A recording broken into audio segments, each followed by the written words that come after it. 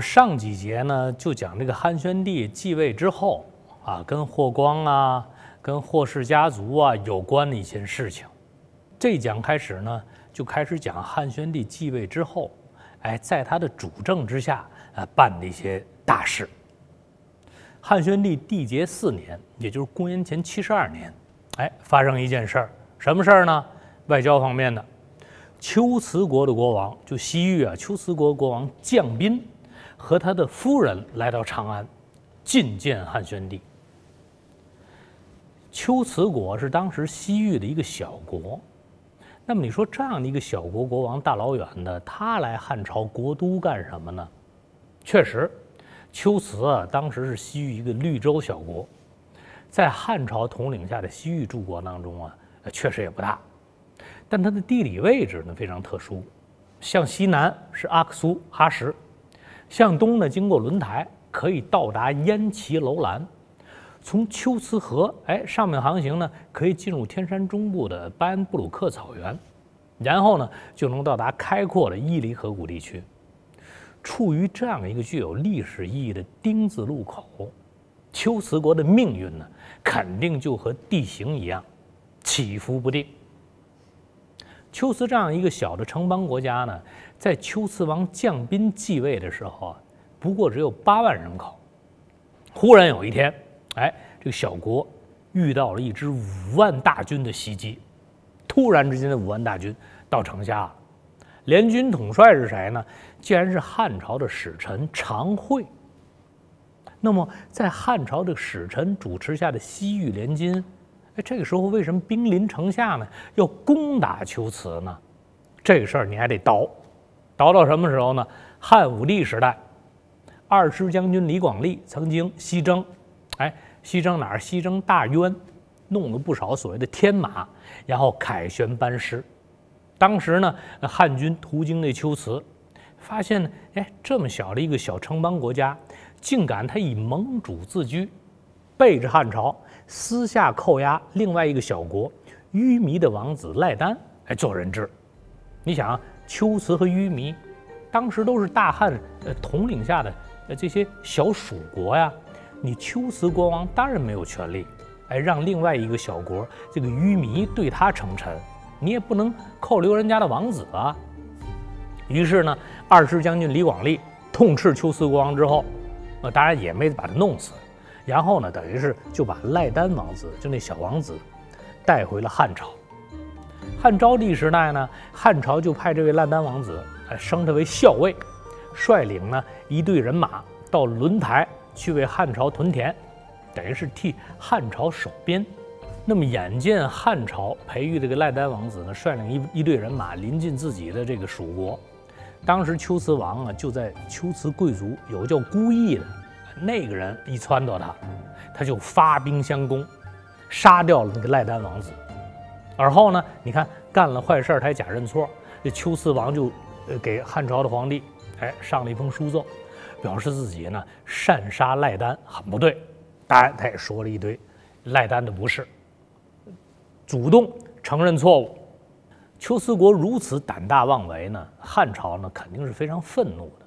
但当时秋瓷是个小国，又路途遥远，如果为了这件事情专门派大军去打他呢，显不出大汉的威风，胜之不武。于是呢，大臣们商议之后，就把这个事儿暂时搁置不提。毕竟，这个秋瓷国王他自己主动上书认错了嘛。到了汉宣帝时代，当时杀掉赖丹那老秋瓷王已经死了，他的儿子呢降宾继承王位。这个时候呢，汉朝刚刚打完一场和匈奴之间的大仗，几路大军出击，哎，唯独汉朝的这个使臣常惠，他所率的乌孙雇佣军建功最多，奋击匈奴，大胜而回。那么常惠回到汉朝之后呢，被赐金封侯。然后呢，汉宣帝就派了携带大量的金币，你要接着回乌孙国，代表咱们大汉朝，后赐后报那些协助汉朝攻打匈奴的哎这个乌孙贵族。临行之前啊，常惠呢忽然提起，你看这秋瓷王啊曾经杀害赖丹王子，希望呢，我这次去顺便能带着乌孙等国的联军啊，教训一下这个龟兹。当时呢，也是害怕常惠在西域啊，生事，汉宣帝就没有答应。但是他临出国都呢，那阵儿大将军霍光啊还活着，就暗中啊对常惠说：“你既然代表我们大汉出使西域，可以见机行事。”有了当时当朝大将军这个霍光的默许，常惠呢就来了精神了。因此他到达乌孙国之后啊，他就以大汉天朝的名义，赏赐了这乌孙贵族啊一大堆金银财宝，然后呢就以自己所带的五百汉朝将士为前锋。集结西域联军五万人，三面攻打龟兹。当然了，有理有利有节嘛。正式开打之前，常会派出使者进入城内，谴责龟兹国王：“你从前擅杀赖丹王子，为什么今天打你？就是因为那个事儿。汉朝天军呢，最近常常打的匈奴啊，是远遁狂逃。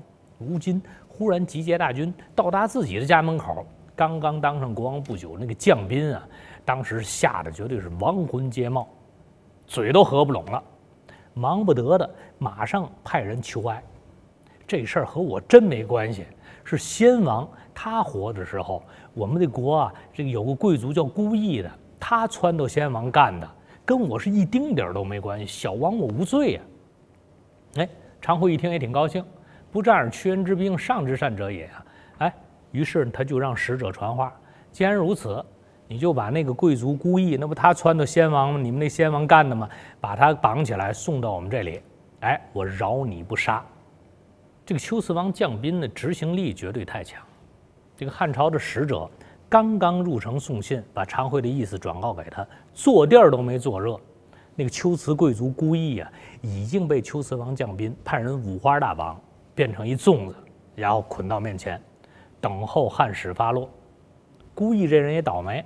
他被汉朝使者带到龟兹城外之后，常会在这五万西域联军面前，以大汉帝国的名义宣誓：哎，你这个人曾经撺掇那龟兹老国王杀掉我们大汉派来的赖丹王子，把这些罪行一一陈述，然后呢，当众大刀一切，斩首。为了显示出大汉朝的这个恩威并重，那么在西域呢，一定要讲究信用，因此呢，把这个孤意。脑袋切下来之后，常惠是非常守信义的，就放弃丘兹城不攻了，而且呢，马上遣散了西域联军，率领呢自己的汉朝使团回国复命。就此呢，秋瓷哎这个小国和汉朝就恢复了关系正常化。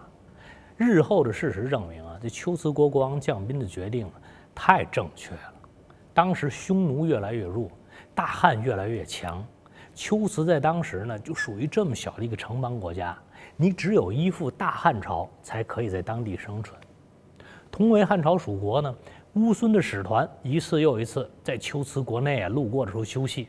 那么每次接待这个乌孙使团的时候呢，这个龟兹国王将宾啊，都会从乌孙使者那里听到大汉的这些呃情这个这个情况，大汉有多么强大，国都啊有多么繁华，而且呢都能够看到。汉朝赐给乌孙国的那些礼物，那太丰盛了，金银财宝、锦帛啊，各种各样的东西，绝对做梦都没见过。不仅乌孙如此，西域诸国啊都是如此。只要是你臣服大汉，使臣一去，每次都会从长安大打秋风，从来没有一次是空着手回国内的。没过多久呢，龟兹国国王将宾也心动，也想和啊这个汉朝想攀个亲戚。那怎么攀呢？你说芝麻一点大的国家，这么一个城邦小国，汉朝不可能把公主嫁给自己啊。还好，正好有一对乌孙使团路过，其中呢有一位乌孙美女叫帝史的。哎，这位帝史啊，说是她乌孙美女啊，哎，为什么她不凡呢？她的母亲，她的亲妈就是汉朝从前嫁到乌孙的解忧公主。这位美女帝史呢，她就是大汉解忧公主和乌孙国王所生的女儿，因此呢，对于这龟兹国王将宾来讲啊，是够尊贵的。你看舞这么一跳，羊肉这么一吃，特别是音乐哎这么一搞，使得本来就喜欢弹琴的这个美女帝史呢，当时春心荡漾，忽然又觉得龟兹王降斌这小伙子，呃，长得还挺不错的，因此呢，当时就同意了这门婚事。那么降斌那龟兹国国王和这个美女帝使小两口日子过得挺火热，作为这个龟兹国王丈母娘的解忧公主也挺高兴，于是呢，他就给汉宣帝上书，希望呢能允许自己的女儿女婿到长安觐见。按理说啊，当时龟兹这种大汉属下的啊这种城邦小国，还真没资格，就是他的国王啊没有资格到长安去面见皇帝的。那么看在解忧公子的面子上，汉宣帝哎同意了。结果呢，大张旗鼓，全国总动员，龟兹王降斌带着无数羊肉干、葡萄干以及当地那些土特产，万里迢迢去大汉都城长安去朝拜汉宣帝。那么为了继续鼓励哎打击匈奴这个政策呢，汉宣帝当时呢就为了怀有远人，对于西域来客绝对是热情招待。加上呢有解忧公主这层关系，汉朝就特别提升招待那个帝室啊，还有这个龟兹王啊，呃这一帮人的级别，破格正式任命龟兹国王的美女老婆那位帝室为汉朝的公主。我们要知道，作为这么小的蜀国，你帝室作为龟兹王的老婆，你再怎么往上蹭，也蹭不到汉朝公主的层级。可人家这位美女呢，她就是有好命，她就得封公主了。哎，连同她这个金龟婿，龟兹王降斌，不仅有汉朝皇帝呃赐予的印绶，还有象征地位和荣誉的那全套的车马旗鼓，哎，都全套两套，金银财宝啊，以及绫罗绸缎那就不用讲了，车载斗量，琳琅满目。这夫妻俩在长安，这个受到招待就待下来了，一待了时间还挺长。哎，在那打秋风打了一年，然后满心欢喜的、兴高采烈的回到了龟兹。就在这一年时间之内啊，这个龟兹国国王降斌那眼界大开，眼福大饱。你想，天朝大汉的繁荣和大汉朝的富足，超出了他自己的想象力。你仔细想，他天天在西域，满眼都是黄沙，这么一个小城城邦的帮主，哎，这阵儿他就觉得，哎呀，我哪是生活在人间？我是生活在天堂啊！最终就是这一年的富贵荣华，这龟兹国国王降斌啊，就成为铁杆的大汉文化的超级粉丝。那么回到龟兹国都之后呢，他还仿效大汉宫室，当然他不敢，那个这个这个，一个是没钱，一个是不敢一模一样一比一的，呃，弄一个汉朝的长安的皇宫，那肯定不敢，按千分之一的比例。也建立了自己的宫殿，当然咱说千分之一也是夸张，反正就这意思吧。就弄一大院子，也号称是他的王宫，宫里宫外普通宫人，哎，都要穿汉式的服装，行动坐卧礼仪全部按照汉朝的那种礼仪。秋瓷光降斌这种努力呢，肯定使得当时的秋瓷文化是焕然一新。当然了。呃，在当时也有人对降斌这种小国盲目模仿天朝上国文化的举止啊，大加讥讽。怎么说呢？驴非驴，马非马，若丘兹王，所谓罗也。所以呢，日后非驴非马这成语啊，就是这样整出来的。这句话呢，显然也是出于丘兹啊这个国家周围那些西域小国，基于那种酸葡萄心理，他们批评降斌啊，干的这事儿不伦不类。那么降斌形式化的这个模仿汉化，那看似雷人，实际上这个人非常精明。你想，现在你把大汉朝啊巴结到了，就等于给他自己的小国上了保险，实实在在的利益摆在眼前。别说给大汉这个公主当女婿，当孙子都行。这个说当孙子，还不是说我这是说笑话。到降斌儿子那辈儿。他们还真以汉朝外孙为标榜，天天在西域诸国面前显摆，说给汉朝当孙子，那牛大了。在当时西域，哎，有匈奴在旁边窥伺，那种错综复杂的形势之下呢，这个龟兹国王降斌他果断势大，等于就完成了他作为一代国王的使命了。真正到了东汉时期，龟兹已经发展成为哎环塔里木盆地最强大的绿洲王国。那么最主要的原因呢，就是应该归功于当时的这个国王降宾和他那儿子能够给汉朝当女婿当孙子。你想带了多少大车的金银财宝和绫罗绸缎，回到龟兹，这一路之上，这个龟兹王的这个将宾啊，一直显摆，当时就把西域驻小国给眼馋坏了。要知道，在当时的西域呢，有那么多城邦小国，并不是所有王国，哎，所有小国都有资格直接和大汉朝搭上关系。为此呢，哎，眼红羡慕之余呢，有一个小国也开始活动了。这个小国是哪个小国呢？就是刹车国。乌孙国的解忧公主除了帝室这个闺女以外呢，当时还有个儿子叫万年，正在长安留学读书呢。恰好呢。刹车国国王病死了，大臣们一商量，觉得你看乌孙、龟兹两个，这个两个国家就是因为和大汉有姻亲关系，吃香喝辣，没事整车整车从汉朝长安往回拿金银财宝，绫罗绸缎。算了，既然我们现在刹车老国国王死了，拥立解忧公主的儿子万年吧，咱们就把他请过来给咱们刹车国做国王。这样一来呢，我们就能直接哎给大汉当孙子了。当然是外孙了，但毕竟也是孙子。所以说，遥想大汉朝当年，我们这个汉人啊，确实是扬眉吐气。你看，所有的域外的哎这些城邦小国，都以自己能够有机会给汉朝当孙子为荣。汉朝呢，作为宗主国，确实是威风八面。于是呢，刹车国那些大臣联名上书，哀求汉宣帝。把正在长安留学那个万年那个王子派到自己国家，哎，做新一任的刹车国国王。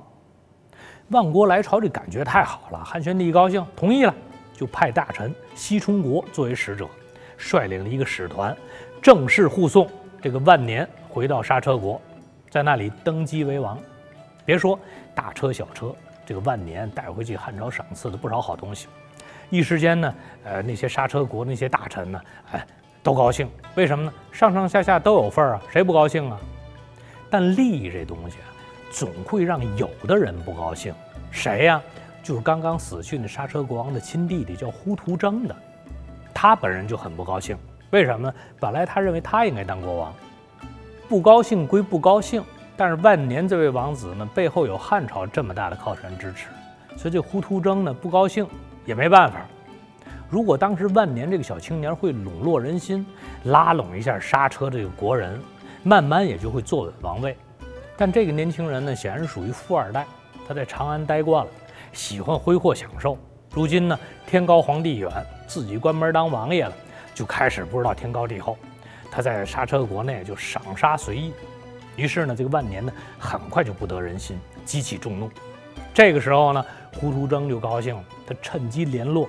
临近支持自己的那些部落，忽然起事，冲入王宫，就把这个醉醺醺、当时这个喝醉这个王王子万年就给杀了。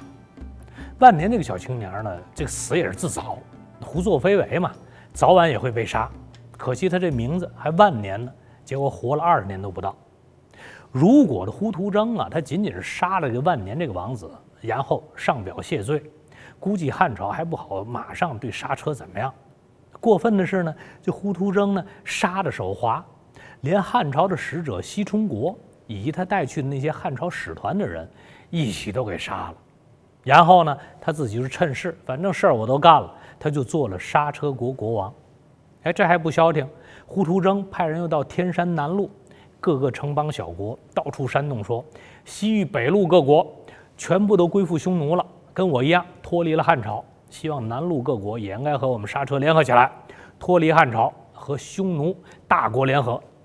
在这个时候啊，汉朝内部如果没人出头啊，去追究这件事儿，西域当时又这么遥远，估计也就和当初龟兹老国王听那个孤意，呃这个劝说杀那个赖丹王子一样啊，闭眼睁一眼，这事儿就过了。谁料到，当时汉朝有一个能人，那这个人正在西域。这个能人听到了这件事情之后，他绝对是不肯善罢甘休。那么，这个能人到底是谁呢？冯凤氏。这个冯凤氏到底有多牛？我们下一讲接着说。